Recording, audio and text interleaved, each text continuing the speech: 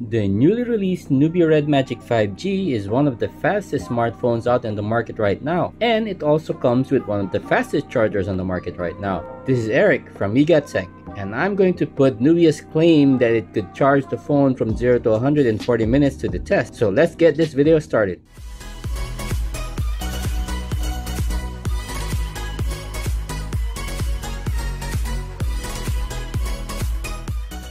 So before we start with the charging test, here are some key specs. The battery on the Red Magic Nubia 5G is 4500 mAh, which is slightly smaller than the battery on the Red Magic 3S or last year's model. That one has a 5000 mAh battery. But this year's phone is capable of fast charging at up to 55 watts and the version that I have in front of me is the Red Magic 5G Transparent Edition. So this is the limited edition and it does come with that 55 watt charger out of the box. And that's the charger that Nubia claims can bring your phone from 0 to 140 minutes. So let's get this charging test started guys.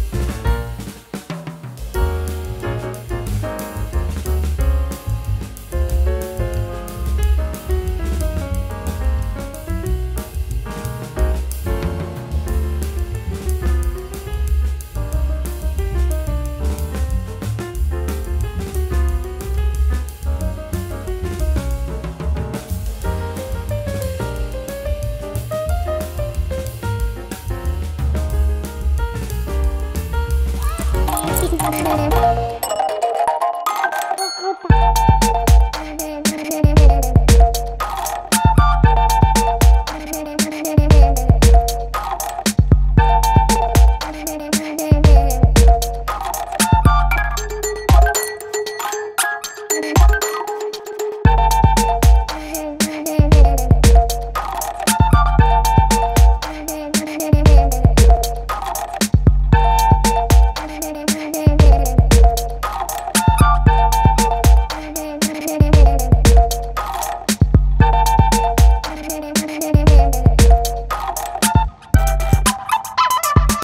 Did it in 41 minutes and 28 seconds. It's actually one of the fastest charging phone I've ever tested on my channel. And Nubia's claim of 40 minutes is not too far off. I got it in 41 and 28 seconds. Probably get it faster if I had the phone turned off, but I did turn it on once it hit 2%.